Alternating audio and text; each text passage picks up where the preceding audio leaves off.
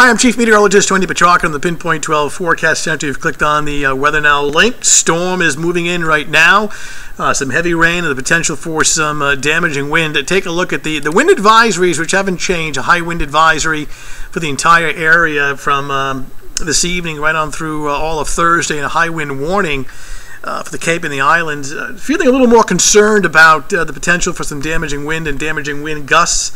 So we've gone from a pinpoint weather alert to a severe weather alert, just uh, on the cautious side of things as far as, uh, again, the potential for some uh, damaging wind. So here's the situation.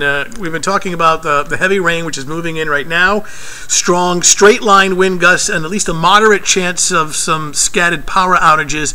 And yep, that is the word tornado. And while the chance is very small, a very low risk, it is a chance nonetheless. And the reason why we talk about this is that we've noticed that some storms on Doppler radar offshore and near Long Island, New York, have, have exhibited some signs of rotation. There's a lot of uh, what we call wind shear, very strong winds in the low levels of the atmosphere that actually change direction with height. So some thunderstorms may have some spin to them, and whether or not we can get a you know a quick water spout or a quick brief isolated tornado remains to be seen. The chance is low, but obviously worth mentioning, and we'll certainly watch the situation very closely over the next uh, several hours. Let me show you Narragansett, and you can just see the flags snapping in the wind here. So the sustained winds have picked up, and the wind gusts have picked up as well. So these, these of course, uh, these are straight line winds, and that, will be the more common wind damage, uh, sporadic tonight through tomorrow. So some isolated power outages, uh, tree limbs and power lines, and things like that. Uh, the wind gusts are starting to tick up. Look at both um, westerly and especially Groton now at 45, uh, 44 miles per hour, and we're seeing gusts to 60. Just a few of our offshore buoys just south of Long Island, New York. So that is somewhat concerning as far as the potential for some damaging wind. So what to expect? Well, the heaviest rain about now through 3 o'clock in the morning, 1 to 3 inches of soaking rain over a short period of time will cause some localized street flooding. Initially, the winds are strong out of the east-southeast tonight and then strong out of the west uh, for Thursday, one thing that the, most of the rain is actually tonight. I don't see a lot of rain for Thursday. There'll be a lot of wind.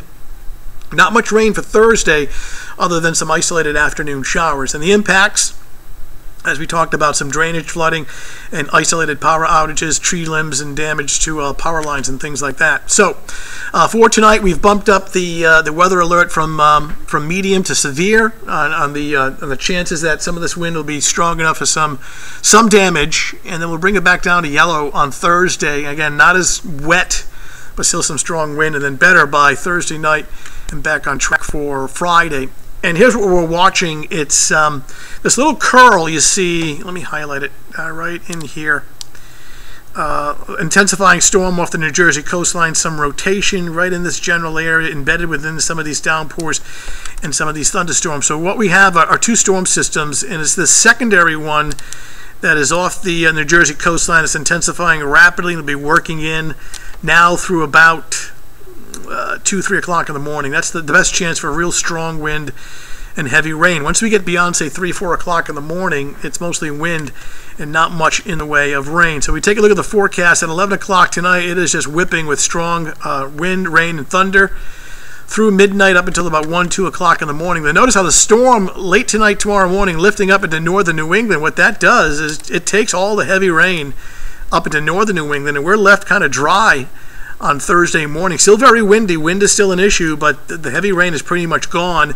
And then during the afternoon, I think we'll get some showers, though just kind of nuisance stuff Thursday afternoon. So I'm not anticipating uh, flash flooding or heavy rain.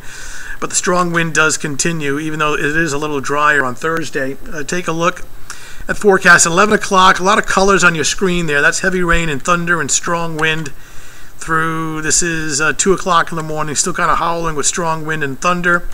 And then notice by just before dawn, it's gone. It's up in northern New England. I wouldn't be surprised if there's actually some breaks of partial sun Thursday morning, but still very windy. And then the clouds will tend to fill back in in the afternoon. We'll get a few random showers in the afternoon, but nothing really heavy. But again, the strong winds will continue out of the west uh, Thursday afternoon and into early on Thursday evening, and then clearing out later Thursday night. So, uh, strong gust on Thursday morning, briefly drier.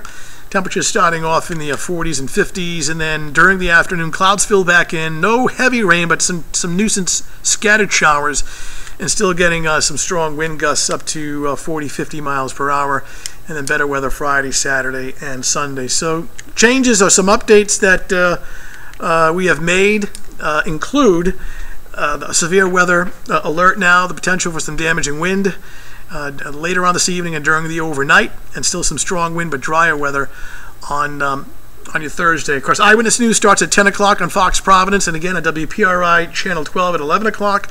We'll keep you updated. Thanks for logging in.